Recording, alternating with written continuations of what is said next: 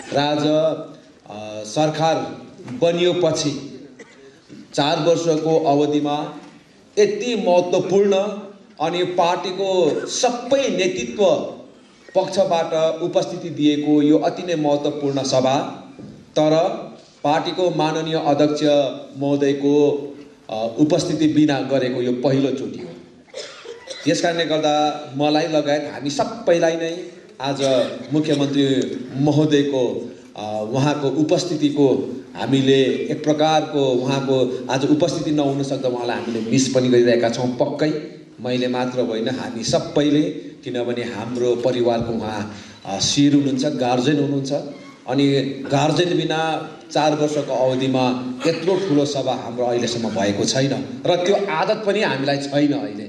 तर आज उहाँकै आदेश अनुसार उहाँको गैर उपस्थितिमा पनि यो सभा हामीले सम्पन्न गर्न लागिरहेका छौँ र क्रान्तिकारी हामी क्रान्तिकारीहरूको बडो सकारात्मक पक्ष र बडो मिठो पक्ष भनेकै यो छ कि जब पार्टीले कतिवटा चुनौतीहरूको सामना गर्नुपर्ने हुन्छ अथवा सिक्किम र सिक्किमे जनताको निम्ति हामीले सङ्घर्ष गर्नुपर्ने हुन्छ त्यति बेला अध्यक्ष महोदयले आफ्नो स्थानमा निरन्तर सङ्घर्ष र कोसिस गरिरहनु भएको हुन्छ भने हामीले आफ्नो आफ्नो ठाउँमा उहाँको उहाँकै रूपमा काम गरिरहेका हुन्छौँ।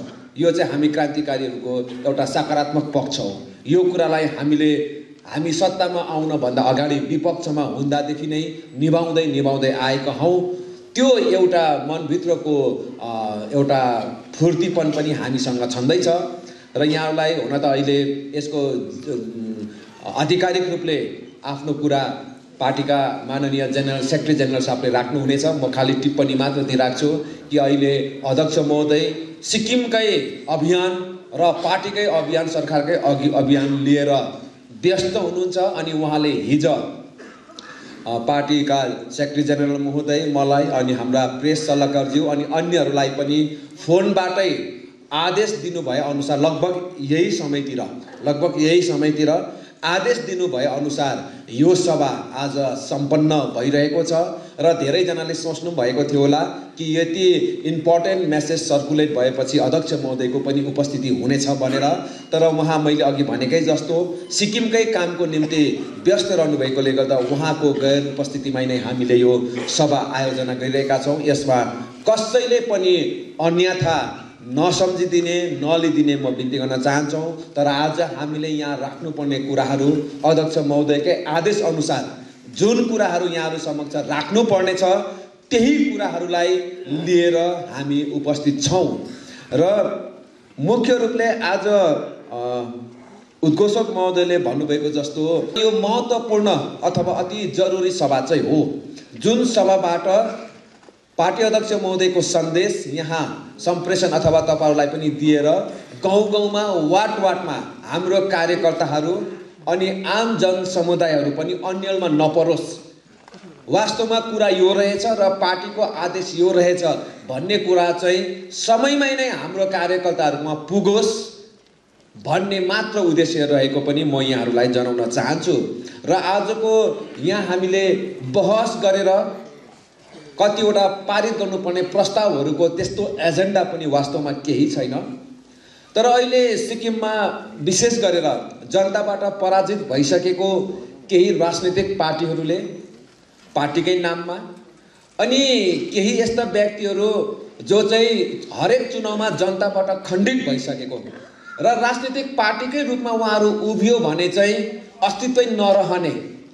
तर गैर राजनीतिक संस्थाबाट प्रतिनिधित्व गर्यो भने चाहिँ अथवा सिभिल सोसाइटीको अथवा नागरिक समाजको नाम गरेर अगाडि आयो भने चाहिँ कतै जनताले पत्याइ पनि हाल्छन् कि भन्ने त्यस्ता राजनीतिक महत्वाकाङ्क्षीहरूले सिक्किममा घरिघरि झुटो कुरा मात्रै फैजाइ फिजाइरहने भएको कारणले गर्दाखेरि अनि सत्य कुरा हाम्रो पार्टीको कार्यकर्ताहरूबाट जनतामा गएन भने कहिलेकाहीँ झुटो कुरा पनि फुल्न सक्ने सम्भावना अथवा शङ्का रहेको कारणले गर्दा साँचो कुराहरू सम्प्रेषण गर्नको निम्ति मात्र यो सभा आयोजना गरिएको छ।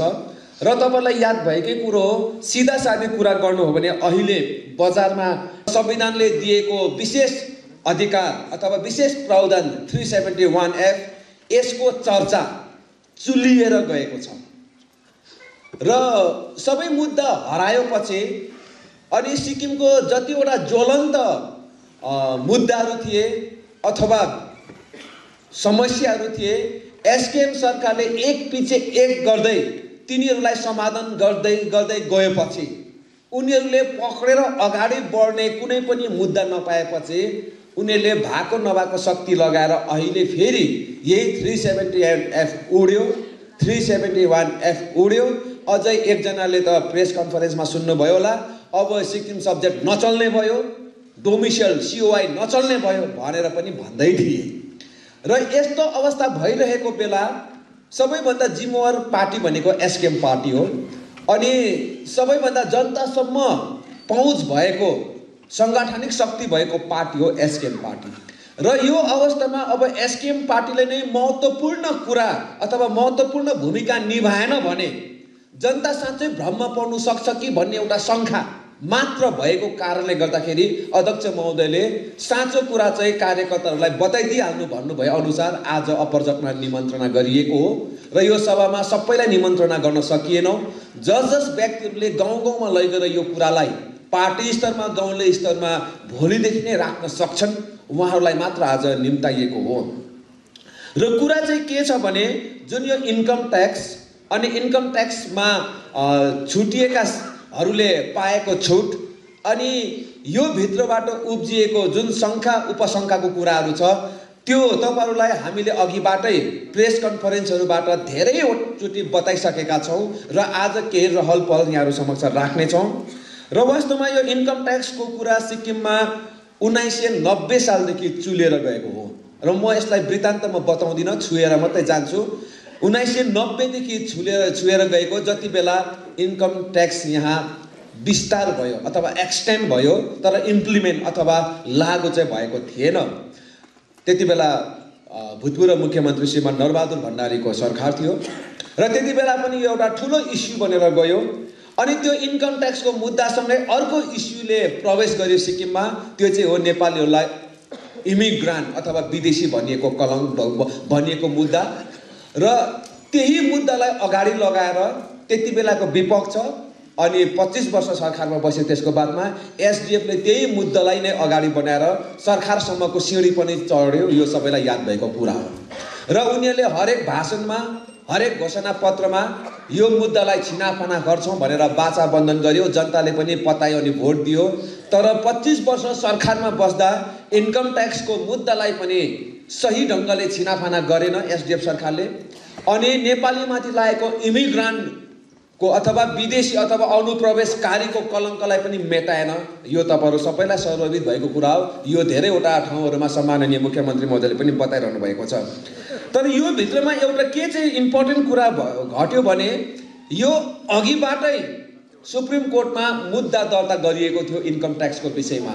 र श्रीमान पवन चामलिङज्यू सरकारमा आएपछि यो यो एउटा कुरा चाहिँ मैले भन्न जरुरी चाहिँ किन पर्यो भने यहाँबाट उसको चरित्र छलङ्गै हुन्छ। त्यो चाहिँ के हो भने सुप्रिम कोर्टमा भइरहेको केसलाई हामी पोलिटिकल्ली यसको राजनैतिक रूपले यसको समाधान निकाल्छौँ भनेर सुप्रिम कोर्टबाट यो केस विथड्र गरियो। यो सबै कुरा तपाईँलाई याद भएको कुरा हो। सुप्रिम हामीले अहिले जानिराख्नुपर्ने एउटा यति छ कि यो अलरेडी सुप्रिम कोर्टमा थियो। तर एसडिएफ सरकारले सुप्रिम कोर्टबाट यसलाई विथड्र गरेर हामी यसको पोलिटिकल सल्युसन निकाल्छु भन्यो। अनि त्यति बेला तपाईँलाई थाहा छ हामी साना साना राजनीतिक कर्मीहरू थियौँ त्यति बेला। हामीले त खालि त्यो सुन्थ्यौँ मात्रै बुझ्थेन त्यति बेला चाहिँ। तपाईँहरू बुझ्नेहरू यहाँ हुनुहुन्छ धेरैजना। र अल पार्टी डेलिगेसन एउटा नाटकको रूपमै भनौँ दिल्लीमा लैगेर यसलाई पोलिटिकल सल्युसन निकाल्छौँ भनेर त्यति बेला ठुलो प्रचारबाजी पनि गऱ्यो तर त्यति बेला सही ढङ्गले अहिले तपाईँले बुझ्नुहुन्छ म पनि अहिले बुझ्दैछु सही ढङ्गले सफा मनले यसको राजनैतिक समाधान निकालिएन। यसलाई अझै कम्प्लिकेटेड गर्ने काम गरियो अहिले त्यसको म बताउँछु। र एउटा कुरा मात्रै अहिले बुझिराख्नु पर्नेछ चामलिङको चरित्रको त्यति बेला कोर्टमा भएको मुद्दालाई उनले राजनैतिक रूपले समाधान गर्छौँ भनेर कोर्टबाट विड्र गर्नु लगायो अथवा विड्र गर्यो। र त्यसको बादमा यो निकै लामो चलेपछि अन्तमा आएर दुई हजार आठमा यो इन्कम ट्याक्स एक्जेम्सन अथवा इन्कम ट्याक्सको कुरालाई केही मोडिफिकेसन केही संशोधनहरूको सँग यहाँ इम्प्लिमेन्ट अथवा लागू गरियो भन्न सकिन्छौँ हामी अथवा लागू गरियो जसमा सिक्किम सब्जेक्ट अथवा डोमिसियल विथ सिरियल नम्बर अनि भलुम नम्बरलाई छुट दिएर यहाँ लागू गरियो। त्यसको बादमा यहाँ कतिवटा कुराहरू नमिलेपछि र सिक्किममै बसोबासो गर्दै गरेका विशेष गरेर ओल्ड सेटलर्सहरूले इन्कम ट्याक्समा यो दुई हजार आठमा छुट नपाएपछि उहाँहरूले एउटा एसोसिएसन बनाएर तत्कालीन सरकार चामलिङ साहबको सरकारलाई धेरैपल्ट यसलाई समाधान गरिदिनुहोस् भनेर पत्रचार गर्यो अथवा प्रतिनिधि टोलीहरूले भेट्यो।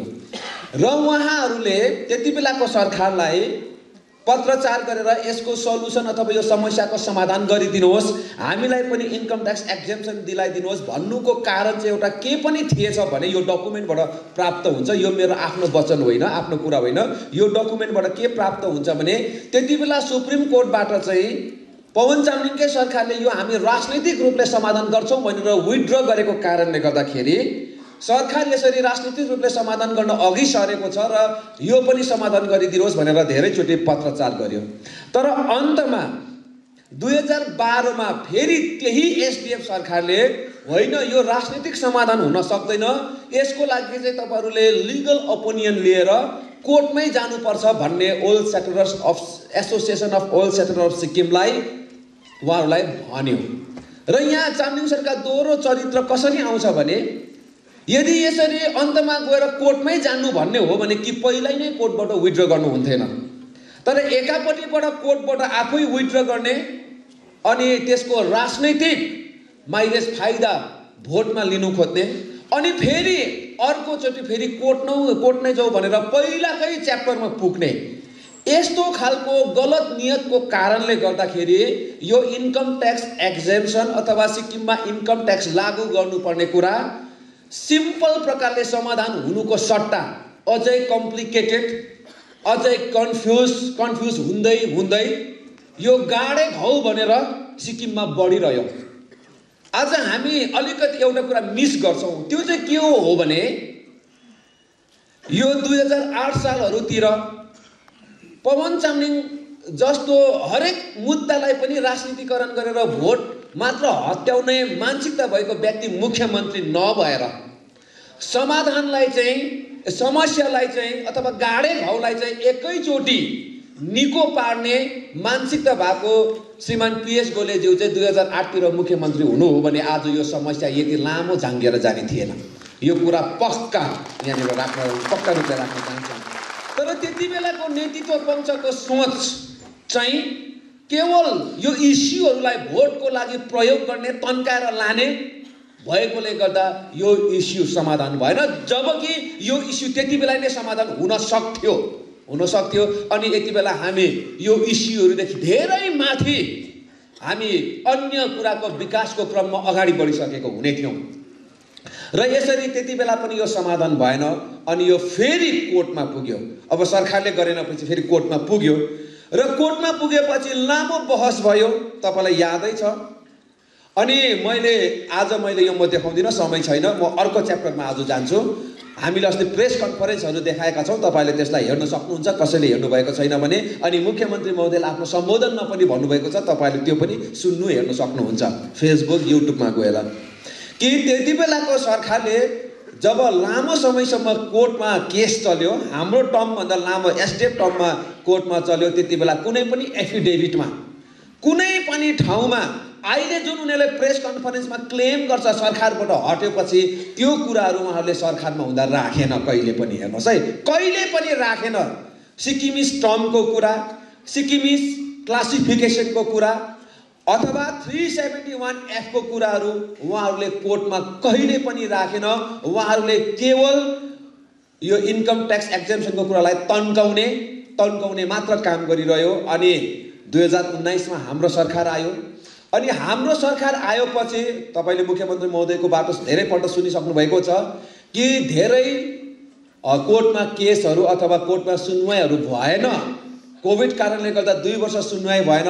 त्यसको बादको सुनवाईमा पनि हामी एसकेएम सरकारकोमा चाहिँ एफिडेभिट बुझाउने समय हाम्रोमा थिएन किनभने पहिलाको सरकारले नै एफिडेभिट बुझाइसकेको थियो।